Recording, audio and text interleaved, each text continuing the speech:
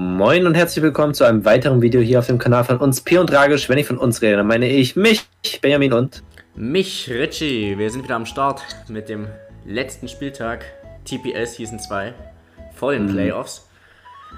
Genau, wir sind Gott sei Dank schon sicher qualifiziert, kämpfen um den ersten Platz im Fernduell mit Hex Heat. Und Können aber noch droppen sogar auf Platz 3 oder 4, wenn wir 6-0 verlieren sollten. Also ja, das, ist dann, das ist dann milde ausgedrückt ja auch egal. Genau. Das, die kriegen ja das Gleiche. Also. Ja, ne, hast recht. Genau, es kommt nicht nur auf die Punktanzahl drauf an, sondern auch auf die Differenz, weil wir sind wenige Punkte auseinander nur. Das heißt, mit einem hohen Sieg haben wir realistische Chancen, Erster zu werden. Spoiler, darauf ist unser Team ausgelegt. Genau. Und da kommen wir doch gleich mal geschwind zum Team. So. Ah, jetzt hat's geladen. Hat geladen. Willst du gleich? Mhm. Ja, gerne, gerne. Okay. Ähm, Akani. Haben wir mit, also ihr werdet einen Common, eine Gemeinsamkeit zwischen allen Pokémon äh, sehen. Aber jetzt erstmal haben wir Akani mit den Plateauschuhen, weil Stealth einfach nerven könnten und Akani dann einfach reinkommen kann, ohne sich Sorgen zu machen. Ähm, okay, die Übertragung war kurz aus, aber jetzt ist sie wieder da. Äh, 252 äh, KP und Verteidigung, einfach Full Fistef, äh, um zum Beispiel Charizard Mega X tanken zu können oder Mimikyu, nachdem sie von Betror auf minus 1 gebracht wurden. Also wie ihr sehen könnt, selbst wenn äh, das Charizard Erdbeben dabei hat, was es wahrscheinlich hat, äh, ist es äh, kein Two-Hit-KO, und äh, Mimikyu macht uns sowieso dann gar keinen Schaden. Wir haben einen Brüller, falls irgendjemand der Meinung ist, er sollte sich hinter einem Sub verstecken oder sich aufsetzen wollen und äh, Brandsand, um halt Charizard zu treffen. That's it. Mhm. Dann. Ähm, die Gegner haben ein sehr physisch offensives Team. Aura, Glurak, Mimikma, Keifel, Waschakwil, Golgantis. Fast alles, was offensiv ist, ist physisch. Genau, deswegen Nächstes Mon von uns wieder Fistev, unser Tandrak. Ähm, könnte unser Matchwinner werden, weil die Giftspitzen sind sau gut. Vieles wird davon getroffen. Alles kriegt dann 12% Schaden. Vieles kann sich nicht gut hochheilen. Und genau, Drachenroute wie bei Arcani, um die Gegner aus, äh, durcheinander zu wirbeln, Setup zu verhindern. Schlammbomb betrifft alles außer Amigento. Und Schutzschild zum Stallen. Fistef soll gut sein gegen die, habe ich gehört. Mhm, richtig. Dann haben wir Fistef, wer hätte das gedacht? Skalück. Mit dem Evoliten und Partikelschutz. Der Partikelschutz ist einfach dafür da, damit äh, die Code-Omi uns nicht nerven kann mit, äh, mit Schlafpuder oder äh, Stachelspore. Ähm, dann haben wir den Schmarotzer, einfach weil, wer hätte das gedacht, das Gegner sehr physisch ist. Dann Abschlag, um Items wegzuhauen. Taunt, um Setup zu verhindern. Und Ruheort. Ja. Wir haben tatsächlich Angst vor Golgantis. Deswegen Skalek. genau. Dann haben wir physisch defensives Humanolith, weil bei all unseren physisch defensiven Mons Washakvil noch am meisten anrichtet. Da, hier ist es wieder. Siehst du, das habe ich nicht bemerkt. Das ist schon wieder das Sharpedo. Humanolith. oh lol. Okay, ja. ähm, überseht einfach die Statuswerte. Die sind. Ich habe mich gewundert, wo das war. Daneben. Ja, okay. Das war Humanoid, der Übeltäter. Genau, Rostbelbeere, um Close Combat von Waschakwil tanken zu können. Ähm, Felswurf tatsächlich, um Subs zu brechen und Schaden zu machen. Äh, ja, Brandstempel und Body Press noch. Und Tarnsteine, weil Tarnsteine wirklich gut sind. Wir machen damit nichts gegen Apokalyp, aber dafür haben wir das nächste Mon am Start. Genau. Und zwar haben wir da Mega Tuhaido und der sieht schon wieder richtig gut aus gegen die. Hat die gleichen Statuswerte wie Humanolith. Das ist ja krass, ey, ja, auf jeden Fall. Ähm, diesmal aber nicht für Steph, ich muss euch enttäuschen, sondern das ist unser Cleaner, unser Sweeper. Ähm, full, ähm, ja, Full Attack, Full Speed, damit ähm, sogar mit einem frohen Wesen, weil, was ihr jetzt nicht sehen könnt, aber Sarude hat auch 105 und äh, wir wollen das halt gegebenenfalls outspeeden können. Und falls die Adamant spielen, was sie wahrscheinlich tun werden. Und dann äh, haben wir uns dazu entschieden, einfach äh, nichts das entschieden, aber hier, die Kikes sprechen für sich. Crunch macht One-Hit-KO auf Jellison, wenn es Full Fistive ist. Also, richtig nice. Ja. Achso, und Eiszahn noch. Eiszahn noch, genau. Eiszahn noch äh, ist für, äh, für Kotomi und sowas äh, und der Toolkit auch Full Fistive Kotomi. Genau, dann nicht Fistive, sondern offensiv tatsächlich. Unser Donarion Dennoch mit den Überresten. Genau, der tankt auch von Apokalyp und Kotomi und Keifel, eigentlich alles. Aber dealt selber sehr guten Schaden mit Donnerblitz, Käfergebrumm, Energieball. Äh, Glurak nimmt das recht gut, aber mit Glück liegen Tarnsteine und dann ist das auch kein Switch-In. Vor allem, wenn er nicht gemegert ist. Ja. Ähm, genau. Ja, das war das Team und dann sehen wir uns gleich im Kampf. Hm. Genau, dann sehen wir uns im Kampf. Bis gleich. So, da sind wir auch im Kampf gegen Trouble in Tangela Town. Und dieses Mal hoffe ich, dass äh, Richie ein wenig lauter ist. Sag doch mal Hallo zu denen. Hallo. Ja, wir haben einiges hin und her getestet. Es ging ewig nicht. Ich hoffe, jetzt geht's. Genau. Und ähm, ja, wie wir sehen können, bevor ich jetzt hier auf Los starte, äh, auf äh, das Replay starte, ähm, haben die Gegner äh, hier Apokalyp, Vashakvir, Zeraora, Potrot oder auch Gottrot, Mimikyu und äh, Amigento Stahl mitgenommen. Was also fehlt, überraschenderweise, ist äh, sowohl Glurak äh, X, was ja eine große Bedrohung darstellte, aber auch Sarude, was mich gewundert hat, weil Sarude ja äh, ich als Scarfer gesehen hatte für Tohaido. Aber anscheinend hatten sie andere Ideen. Genau, dann würde ich sagen, starte genau. jetzt einfach mal. Ähm, Lied, bevor, äh, hatten wir gesagt, wir lieden mit. Oh, äh, Gossenpferdchen, oder? Genau, mit Gossenpferdchen. Ähm, einfach, da wir dann der Meinung waren, dass wir, wenn es Potrot ist, die Toxic Spikes rausbekommen können und ansonsten einfach rausswitchen oder beziehungsweise äh, bei sowas wie Apokalypse kann es auch nicht viel machen. Genau, aber wir haben sowieso ziemlich hart mit Potrot gerechnet. Und dann haben wir halt geguckt, so was ist gut gegen Potrot. Und es war nichts perfekt gegen Potrot, aber Potrot kann das Handwerk wenigstens nicht toxic. Ja, so.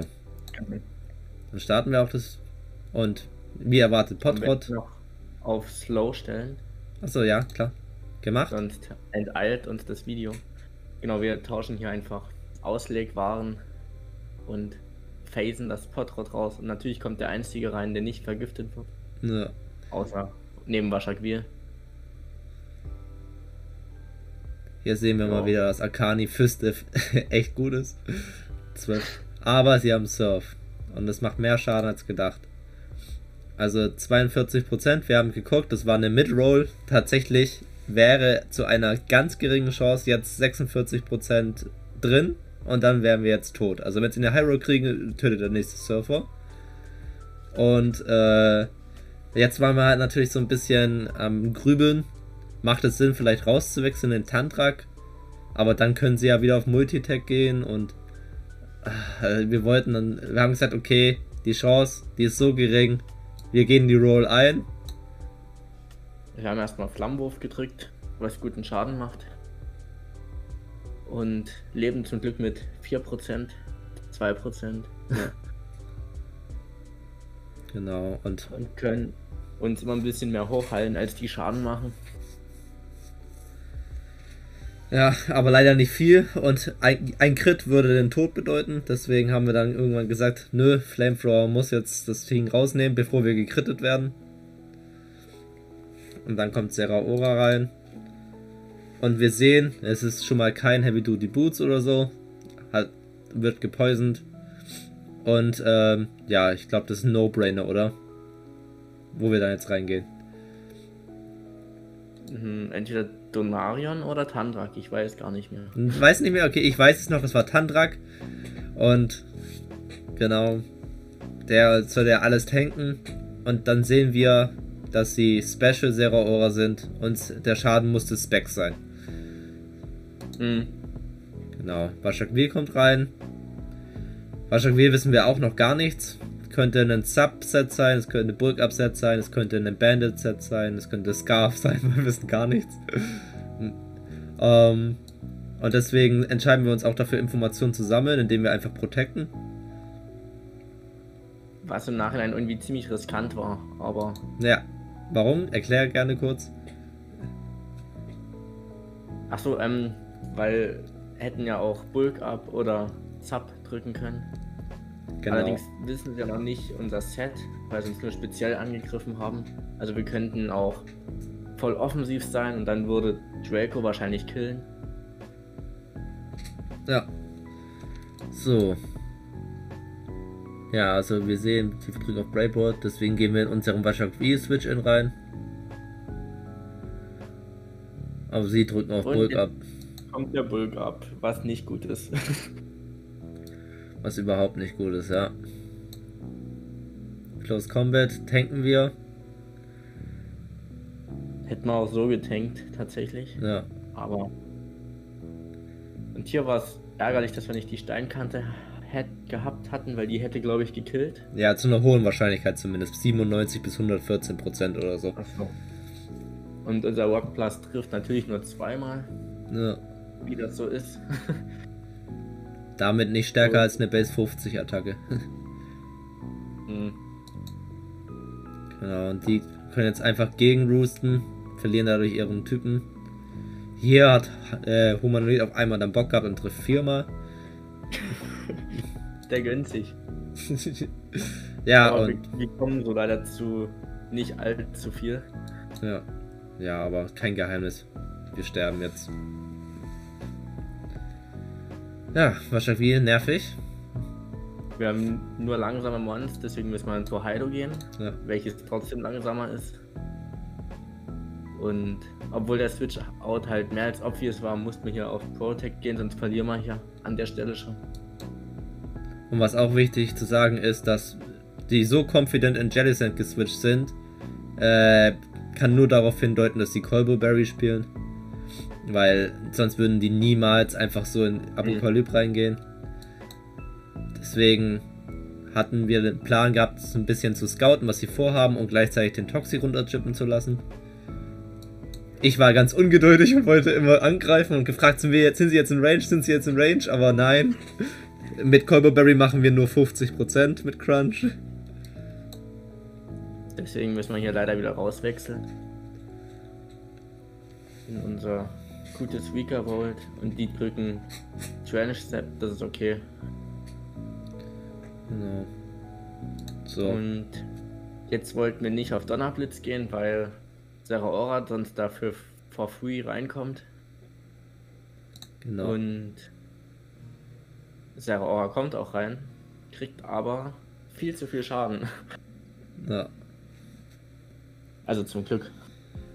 Haben wir gut predicted. Wir haben, wir, haben, geguckt, was sie so Specs für Attacken können und das ist, also für spezielle Attacken können und das ist recht überschaubar. Eigentlich trifft uns da nichts über, ähm, nichts ähm, zu schlimm. Deswegen sind wir aber drin geblieben. Hätten vielleicht nochmal hochheilen können, aber ja. Passt schon. Jetzt kommt das blöde Waschagwil wieder rein. Ja. Ja, unser Waschagwil-Counter ist kein Counter gewesen. es hat verloren, das von V1. Und jetzt stehen wir ein bisschen blöd da gegen Waschagwil. Ähm, ja, also wir opfern unser Vika-Void. Weil in der Hoffnung, wir dachten, vielleicht gehen sie auf Roost oder Burg ab. Und jetzt kommt wieder dasselbe Spiel mit Chapedo. Und wieder dasselbe Spiel mit Jellicent, also. Auch da war es wieder obvious, dass sie rauswechseln, aber wenn wir nicht Schutzschild gedrückt hätten, wären wir einfach drauf gegangen. Das konnte man nicht riskieren. Und wir sehen den Gigatrain. Das ist auch interessant. Ja, Gigatrain macht leider zu viel Schaden, sonst wären wir drin geblieben. Hier sind wir sehr risky in Arcani gewechselt. Genau. Einfach aus dem Grund, ich, man sieht es jetzt glaube ich sogar im Screen, sie haben bis jetzt Willow, Strength Sap und Giga Drain revealed. Und ähm, dadurch, dass sie ähm, hier die, ganze Zeit Giga Drained und Dings haben und nicht gescaldet, waren wir uns ziemlich sicher, dass sie auch kein Scald im Set haben. Deswegen sind wir einfach mal cocky in Arcani gegangen. Bestes Wort. Genau. Und durch den Switch-Up wurde es auch nochmal bestätigt, dass sie keinen Scout besitzen. Ähm, man muss noch dazu sagen, im Nachhinein haben wir erfahren, dass es anscheinend ein Missklick war und dass sie Rest hatten, obwohl sie eigentlich schon Strength Step hatten und das halt keinen Sinn macht. Und dass da wahrscheinlich schon hätte Scout hinkommen sollen. Hm. Man weiß es nicht. Ja, so genau weiß ich es nicht. Spoiler, wir hatten kein Aftermatch-Talk.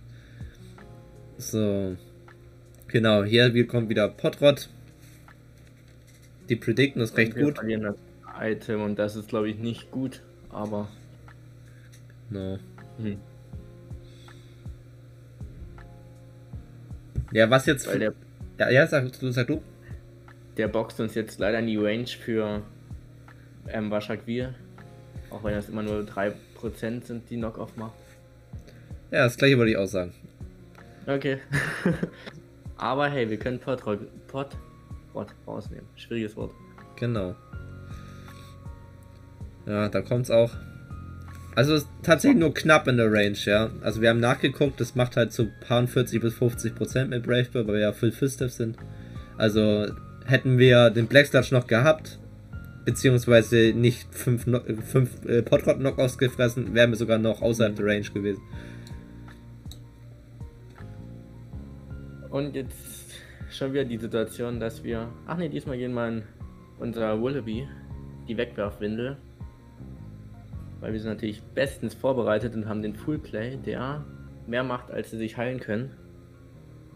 Deswegen wechseln sie auch raus.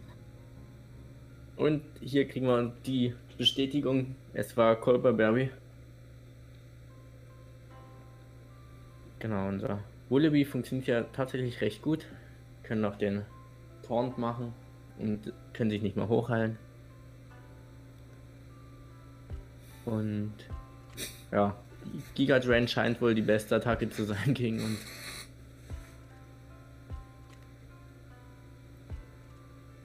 Ja. Wegwerfwindel, bestes D-Pick, bester D-Pick auf jeden Fall. Stimme ich nur Benny? zu. Ja, ich stimme nur zu, ich stimme nur zu. Also Wullaby macht echt mehr Work, als man glaubt. Gewinnt jetzt hier gegen Apoqualle und sie gehen ihr Mimikma. wofür wir extra Arcani haben, welches zum Glück noch fit ist. Allerdings ist es nicht zwingend das Standard Mimik Mimikyu. nee, es ist Curse. Und das hatte ich jetzt natürlich eher weniger auf dem Schirm. Wir können uns aber gegenheilen. Zumindest solange die Attacken reichen. aber kriegen jetzt mal 25%. Und so, desto länger ich mir das angucke, weiß ich nicht, warum wir nicht einfach rausgewechselt sind auf Wallaby. Ich weiß es auch nicht.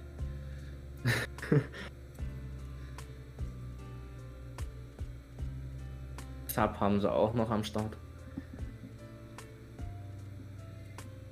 Interessantes Set auf jeden Fall.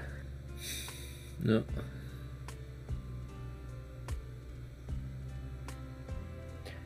Ja, passiert nicht so viel, außer dass uns wieder hochheilen.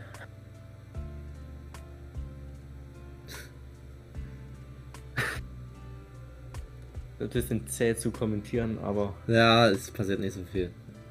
Aber es, es hat gleich ein Ende. Es ist kein Stall-lastiges Ding. Es ist ja. Genau. Ich glaube, wir wechseln sogar hier noch einmal raus. Ja. Genau, in Wullaby hätten wir schon vor 100 Jahren machen können. Wir hatten halt Angst, dass der letzte Move Play Rough ist.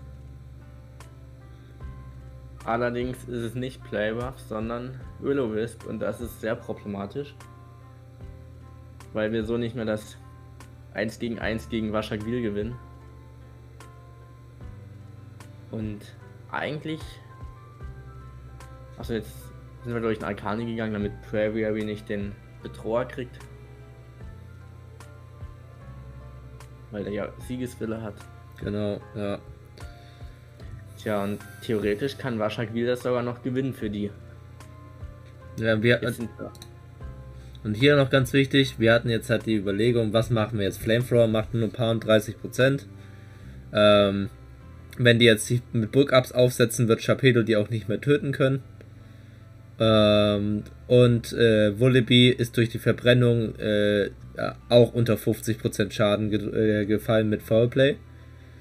Und deswegen hatten wir jetzt eigentlich mehr oder weniger nur zwei Optionen. Erste Option, wir hoffen, dass wir äh, mit Akani mit Flamethrower verbrennen oder beziehungsweise Scorching Sands Roost predikten und dann verbrennen.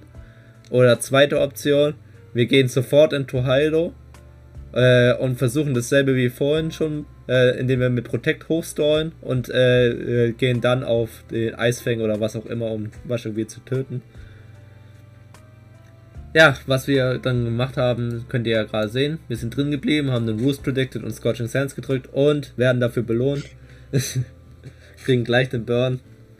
Und das hat den Willen von ihnen, glaube ich, gebrochen. Sie haben dann gar nicht erst versucht, sich aufzusetzen mit Bulk-Ups oder so, sind einfach gleich auf Brave Block gegangen und dann haben wir so mit 3-0 ja. gewonnen. Hätten das wirklich noch gewinnen können. Also haben wir noch glücklich gewonnen, fast schon. Ja. Naja. Damit ist die Liga auch schon wieder rum. Also die Ligaphase. 13 Spieltage waren das. Krass, oder? Ja, also. Ich, ich muss sagen, es gab so. Es gab so eine Phase, wo ich dann, wo man vielleicht nicht so ein bisschen die Motivation verloren hatte, aber jetzt gegen Ende hin war sie wieder da. Und äh, ich fand die Liga hat trotzdem mega Spaß gemacht und äh, sie ist ja noch nicht vorbei. Die Playoffs kommen ja jetzt noch. Genau, und ausführliches Fazit-Video kriegt er natürlich von uns auch noch. Genau, also da müssen wir jetzt gar nicht so heftig drauf eingehen. Aber was ich noch sagen kann, ist, dass Trump und Tangela Town ein richtig gutes Match geliefert haben mit einem kreativen Mimikyu-Set und einem Bravery, was uns vor mehr Problemen gestellt hat, als wir dachten. Und ich würde sagen, dass man sich nächste Season hoffentlich wieder sieht. Und ähm, weil die ja leider nicht in die Playoffs geschafft haben. Und wir dann jetzt gespannt sein können, ob wir Erster oder Zweiter oder was auch immer sind nach diesem Match. Genau, das mit der Differenz haben wir leider nicht geschafft. Also wir, haben, ähm, wir, müssen, wir müssen ja zwei Differenzpunkte aufholen und wenn ein Hexrefeed mit einem Punkt Differenz gewinnt, sind es immer noch vor uns. Also müssen wir quasi auf äh, die Psychedelic Psychos hoffen, dass sie Hexrefeed schlagen. Und das wird sich noch herausstellen, was da passiert ist. Genau, ihr werdet es dann erfahren, sobald wir die Ergebnisse auch gehört haben. Ich bedanke mich fürs Zuschauen und ähm, bis zum nächsten Video dann in den Playoffs. Ciao.